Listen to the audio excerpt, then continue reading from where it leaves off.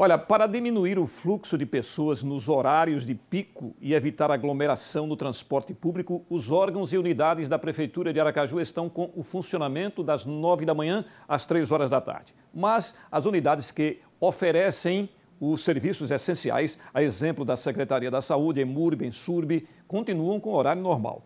Já a Secretaria da Defesa Social e da Cidadania e a Guarda Municipal estão em escala de plantão mais informações sobre o horário de funcionamento dos órgãos no portal A8SE.